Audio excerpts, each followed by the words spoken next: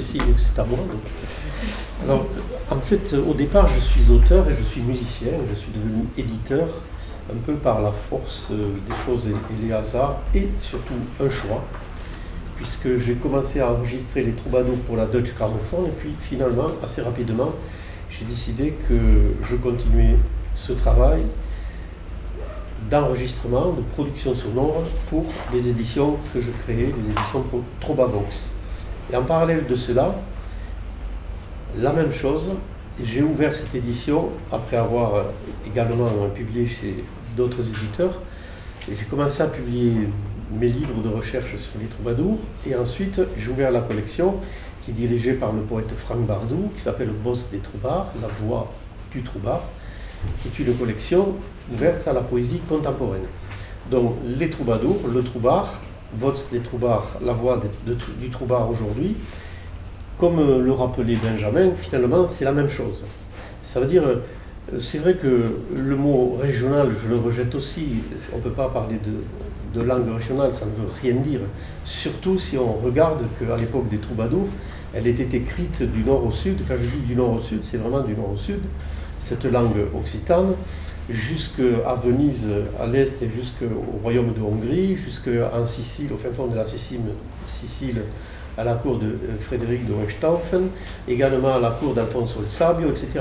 Donc euh, ça fait une langue extra-régionale, qui, pendant euh, deux siècles est devenue une vraie langue élaborée de la poésie. D'ailleurs, quand on regarde les manuscrits, il y a une coïnée, donc un souci déjà, dès le XIIe siècle, d'avoir une réflexion sur l'écriture, puisque euh, n'est pas.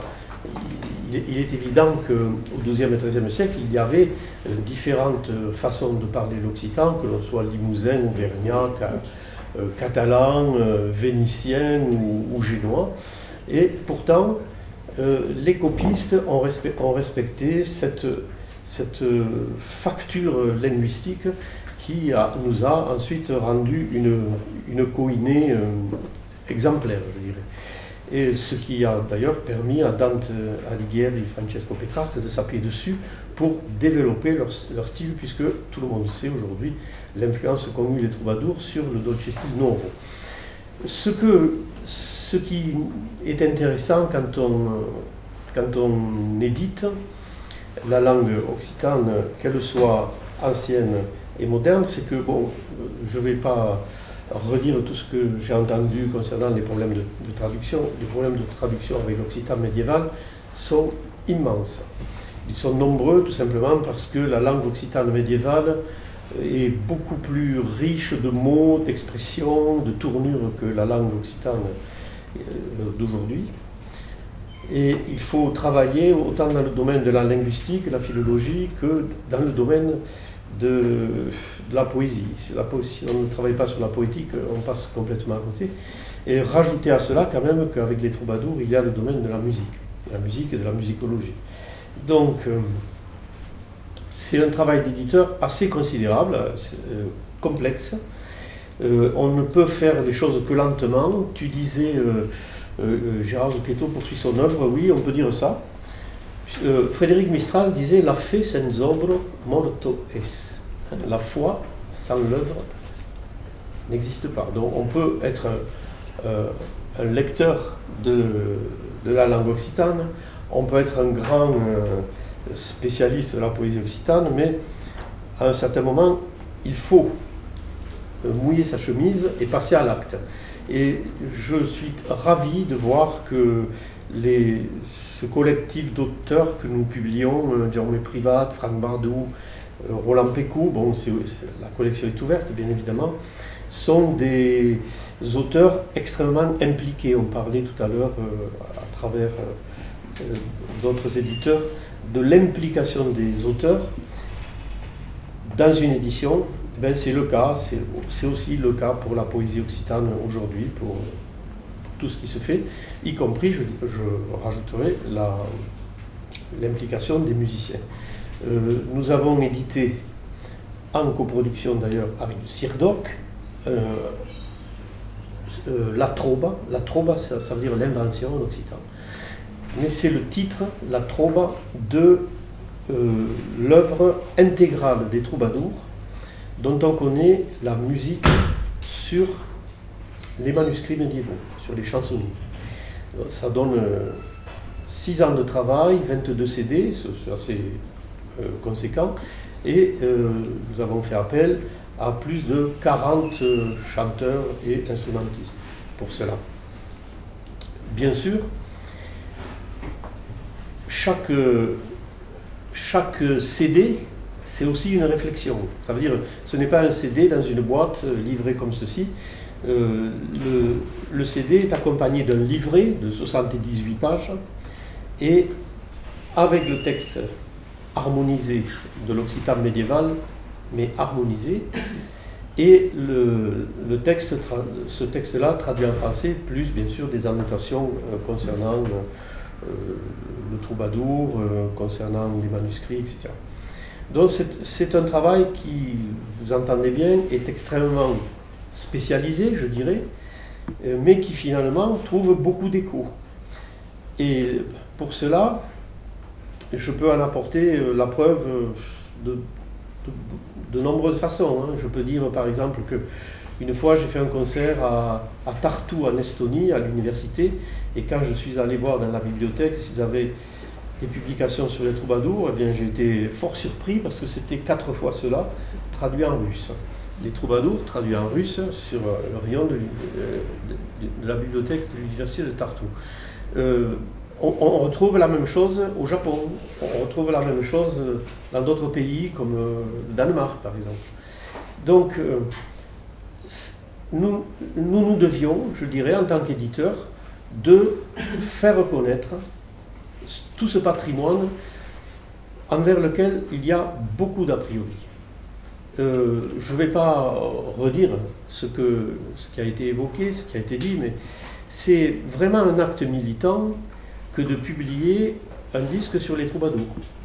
Mais en même temps, alors c'est un acte militant parce que c'est compliqué, euh, dans, le domaine euh, occitan, euh, même dans le domaine occitan, je dirais, il y a eu des travaux, mais bien sûr jamais assez. Et donc il y a à reconsidérer aujourd'hui, en matière d'édition des troubadours, le facteur principal pour moi, et c'est dans ce sens que, que je milite en tant qu'éditeur, c'est-à-dire que les troubadours sont des artistes. Ça, c'est très important. Et c'est parce que ce sont des artistes qu'il faut s'intéresser à tout ce côté interprétation de cet art. Euh, cela, je le fais dans le cadre de l'université de Stanford, je le fais également dans le cadre de l'université euh, autonome de Barcelone et, récemment dans le cadre de l'université de Bâle. Parce que ce sont il y a là des universitaires qui s'intéressent aux troubadours et justement à cet aspect non médiéviste, ça veut dire uniquement la romanistique, comme disaient les Allemands, la, philologie, la linguistique, mais, mais surtout à cet autre aspect qui ouvre justement les portes sur la création contemporaine. Euh, j'aime bien citer euh, des exemples comme tous les courriers que je reçois de jeunes passionnés de musique électronique et qui ont envie de mettre les troubadours en musique, etc. Et quand ils cherchent du matériel, du matériau, il n'y en a pas. Très peu. Il y a très peu de matériaux en la matière. Ça veut dire que dans le cadre universitaire, on a des textes qui sont exactement la transcription des textes du manuscrit, donc quasi inexploitables. Et sur le plan, euh, sur le plan de la transcription de la musique, il n'y a pas forcément euh, de retranscription. Il y en a une, seule qui a été faite par Robert Laffont et Ismaël de la Cuesta, une autre par Van der Werf dans un cadre universitaire. Mais tout, cela est un travail à faire. Et nous nous emploierons, euh, c'est notre projet notre prochain projet, nous, allons nous employer à faire une trombe numérique une trova numérica, qui sera toute la collection des. Euh, tout le corpus des chansons de troubadour euh, avec, euh, avec plusieurs accès, le manuscrit, la transcription du manuscrit, la, transcription de la musique, la, traduction en français, la, traduction en, anglais, etc. Donc, euh, parce que c'est un ouvrage essentiel qui manque à notre connaissance. Donc ça, c'est les troubadours. Concernant la poésie contemporaine, voilà, je suis trop long. on est un peu euh, on est un peu. Alors, poésie contemporaine. La, poésie contemporaine, c'est très simple. En même mot. C'est. ça. Choisis-le bien. Voilà. Ça dure depuis. Euh, ça a commencé il y a 4 ans. Et nous en sommes déjà à 5 ou 6 poètes qui publient régulièrement et que j'encouragerai toujours à publier le plus possible. D'autant que, comme ils défendent euh, leurs œuvres, eh bien, ils font des troubades, nous faisons des rencontres où nous donnons à lire les, ce, croisement entre troubards euh, du Moyen-Âge et troubards d'aujourd'hui. Donc dispositif fabuleux pour vos bibliothèques. Vous avez l'éditeur, les auteurs et je rajoute moi l'exposition Terre de Troubadour fait en réalisation euh, Sirdoc et, euh, et, Gérard. voilà donc pour une approche complète des troubadours jusqu'à la poésie contemporaine, vous avez le kit complet. Donc là plus d'excuses.